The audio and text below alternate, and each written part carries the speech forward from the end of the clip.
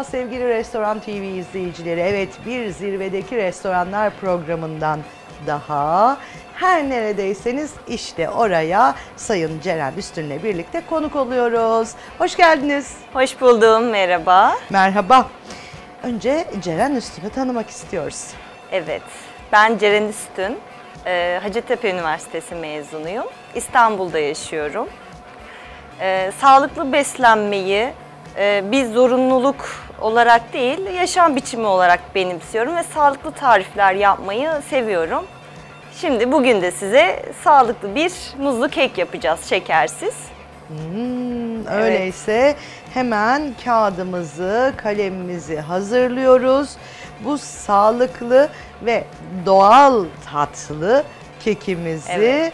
hemen kaydediyoruz. Sonrasında gerek çocuklarımıza gerekse kendi canımız sağlıklı böyle atıştırmalıklar istediğinde ya da çayımızın yanına, kahvemizin yanına yapıyoruz. Tabii kahvesiz olmaz. Olmaz. Kahvenin yanına mutlaka tatlı tadı verecek e, bir atıştırmalıklar arıyoruz. Bunlar da basit çözümler, pratik tarifler olacak. Öyleyse mutfak sizin. Teşekkür Başlasın ediyorum. bakalım Ceren Hanım'ın şovu. Evet, çok basit. Ee, öncelikle e, olgunlaşmış muz tercih ediyoruz.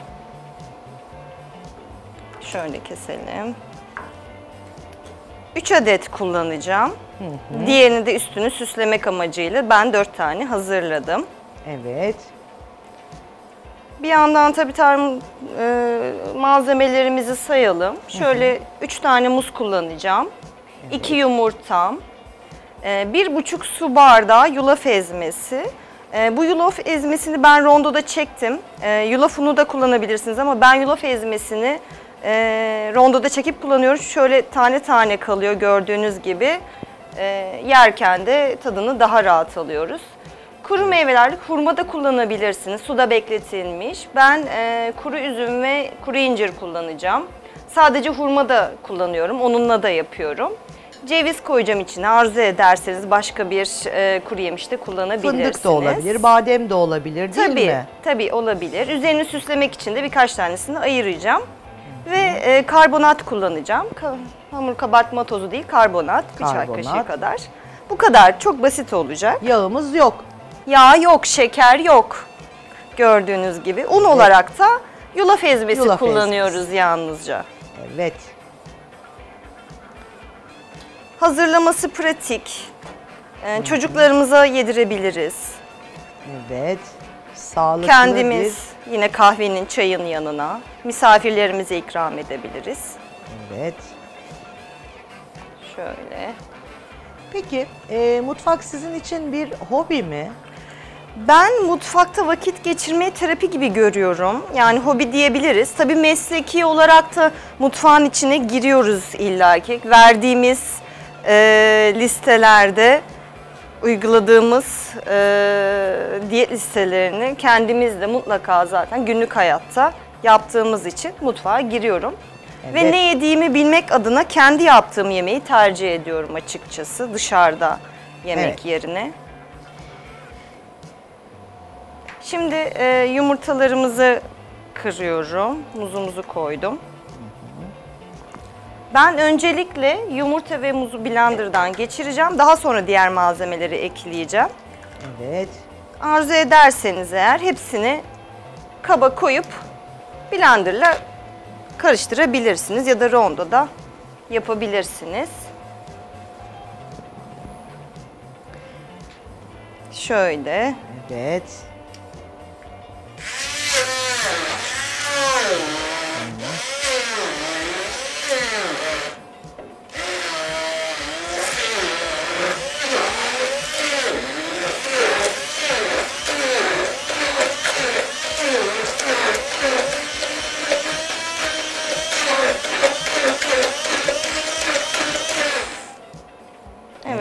Gördüğünüz gibi.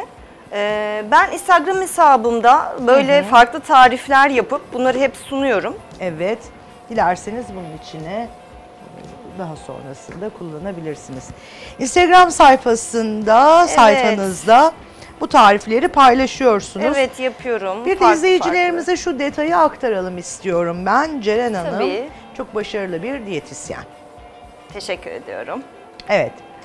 E, çünkü sayfanızı takip eden e, birçok takipçinizin sizin hakkındaki yorumları da e, oldukça olumlu. E, bu konuda çok başarılı olduğunuzu zaten takipçileriniz de göz önüne sergiliyorlar. Diyetisyen olmaya nasıl karar verdiniz? Ee, şöyle, öncelikle e, bizim sağlıklı beslenme aileden geliyor. Benim annem de e, sürekli doğal beslenmeyi seven bir kadın. E, evde de aslında sağlıklı beslenme hakimdi ve ben üniversite tercihimi yaparken e, diyetisyen olacağım dedim.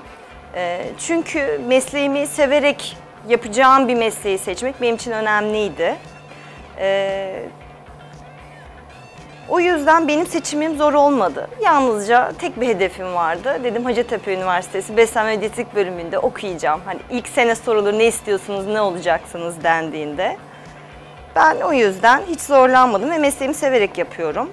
Tabii günümüzde e, online diyetler daha popüler oldu. Çünkü tabii insanların e, zaman problemleri var. E, internet ve sosyal medya çağındayız.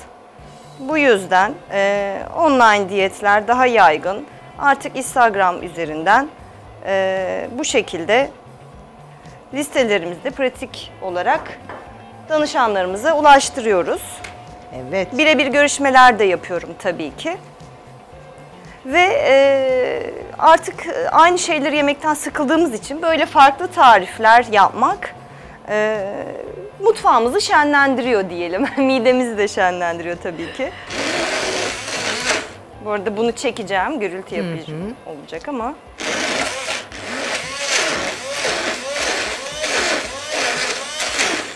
Kabartma tozunu da ekleyelim. Karbonatımızı.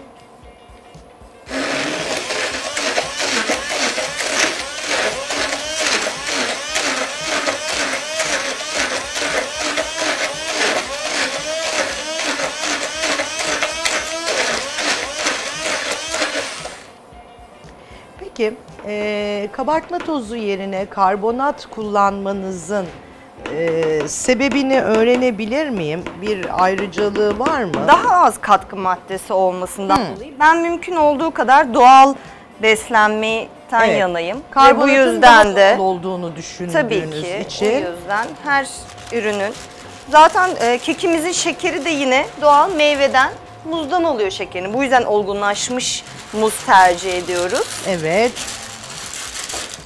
Öyleyse yerli muzlarımızı bu kek için e, ideal olarak düşünebiliriz değil mi? Tabii ki de.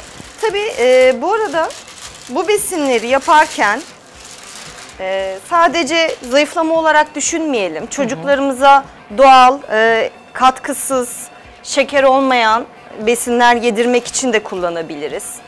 Evet. E, sadece bunu zayıflamak olarak değil yani kilo almada bile sağlıklı kilo almak yine şeker Çok doğru. ilave olmadan pizza hamburgerle Çok kilo doğru. almak yerine yani yalnızca zayıflama olarak görmeyin. Ee, tabii ki de İdeal kilomuzu korumak için de e, bu tariflerden faydalanabiliriz değil mi? tabii ki de tabii ki de aynı zamanda da e, yapay besinlerden, glik- glikoz şurubu eklentili ürünlerden uzak durmak amacıyla. Evet. Ben bu mesleği seçerken e, yine aynı konuya geleceğim. E, şunu da söylemek istiyorum. E, şimdi yaptığınız iş sizin yaşam biçiminiz, yaşam tarzınız olmalı. Sağlıklı beslenmeye ilaveten tabii artık hareket etmek de önemli. Ben spor yapmayı da seviyorum. Yaptığım sporları da yine paylaşıyorum. Çeşitli sporlar da yaparım. Salon sporunu çok sevenlerden değilimdir açıkçası.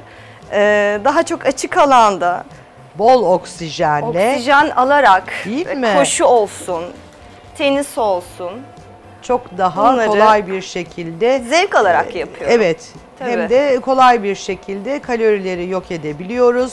Ciğerlerimizi bol oksijenle temizleyebiliyoruz, doldurabiliyoruz. Evet açık alan Depresyon. sporları aslında çok çok faydalı. Yeter ki yapabilelim ama hepimizin hep bir bahanesi var değil mi? Evet maalesef öyle zaman bulamıyoruz diye düşünüyoruz. Zaman yaratmak istemiyoruz. Zaman yaratmak her zaman bizim elimizdedir. Burada e, arzuya göre ceviz koyabiliriz demiştim. Ben böyle cevizleri elimle parçalayarak içi tane tane gelmesini seviyorum. Peki. Kalını da üstüne koyacağım. Şimdi diyetisyen deyince hemen aklımıza ilk Evet. gelen formda kalmak, evet. diyet yapmak, kilo vermek. Evet. Aslında bir diyetisyen hangi alanlarda ne tür hizmetler verir? Bunu sizden duymak istiyoruz. Çok güzel soru sordunuz. Diyetisyen deyince dışarıda özellikle karşılaştığım insanlar bu göbek nasıl gidecek sorusu ile karşılaşıyoruz. Yalnızca zayıflama olarak düşünülen bir algı oluştu toplumda. İnanın çok güzel bir soru sordunuz. Ee, şimdi bazı metabolik hastalıklar var. Ee, özellikle bu metabolik hastalıkların e, bazıları tamamen beslenmeye bağlı. Ee, bakır içeren besinleri tamamen yiyemeyen metabolik hastalıklar gibi, PKU gibi, e, kilo alma, diyaliz hastaları, e, birçok hastalığında zayıflama çok küçük bir parçası. Evet. Ee, ve sadece zayıflama değil, ben e, asla hiçbir zaman diyet listesi demem, sağlıklı beslenme programı derim. Ee, benim için önemli olan sağlıklı beslendi. Bir insanın nasıl fit göründüğü değil, vücudunun içinde aslında içten sağlıklı mı bu önemli. Sağlıklı besleniyor mu? Eğer bir insan formda da gözüküyor olabilir. Genetik olarak metabolizması hızlıdır. Ama sağlıklı beslenmiyorsa benim için hiçbir şey ifade etmez. Bu çok önemli bir ayrıntı.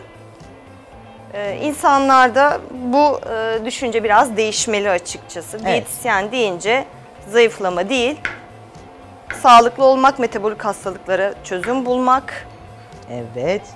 Ve aynı zamanda e, birçok sağlık kuruluşumuzda da e, çıkan yiyeceklerin kontrolü ya da Kesinlikle. reçeteleri için sizlere büyük ihtiyaç var değil mi? Kesinlikle okul yemekhanelerinde e, menüler de hazırlıyorum ben. Kreşlerde e, diyetisyenler menüyü hazırlar. Evet. Kişinin, öğrencilerin olsun e, beslenme dağılımını, protein karbonhidrat dengesini ve mutfağın denetimini, mutfağın denetiminden diyetisyen sorumludur aslında. E, çoğu insan bunu bilmiyor. Bu kadar yeter sanki. Kafanıza göre süsleyebilirsiniz bu Evet. arada üstünü. Evet. Ee, Böylece bu konuya da bir açıklık getirmiş olduk. Evet. Şimdi fırınımızı kaç derece ayarlamıştık? Ben 170 hatırlamıyorum. derecede. 170 derecede ne Yarım kadar? saat. Yarım saat Hani pişireceğiz. Fırınıza göre veya 40 dakika kontrol Evet. ederek alabilirsiniz. Evet. Evet. Söylenecek söz bulamıyorum. Hem sağlıklı hem güzel görüntüsü olan muhteşem bir lezzet. Sağlıklı bir muzlu kekimiz. Evet. Tadı da enfes oldu tabii. Evet. Çaktırmayın arkada tadına baktılar ve onay aldı. Benim hiç tadına bakmadan e, durduğumu gören oldu mu acaba? Olmadı. Tabii bu ritüeli de bozmadım. Tadına da baktım. Çok da lezzetli, çok da güzel. Ellerinize sağlık efendim. Teşekkür ediyorum. Ee, şunu da ekleyeyim. Benim Instagram hesabım DYT Ceren e, Ustun diye. Ee, takip ederseniz bu sağlıklı e, tariflerimi orada paylaşıyorum. Görüşmek üzere. Çok teşekkür ediyorum. Biz teşekkür ediyoruz. Sizin de e, böylesine güzel lezzetlerle izleyicilerimize sunum yaptığınız için tekrar hoş geldiniz, sefalar getirdiniz efendim. Sağ olunuz. Evet sevgili Restoran TV izleyicileri Ceren Üstün konuğumuz oldu. Sağlıklı yaşamak için sağlıklı beslenmeyi bir hayat biçimi haline getirmemiz gerektiğini bir kez daha hatırlattı bizlere. Hoşçakalın.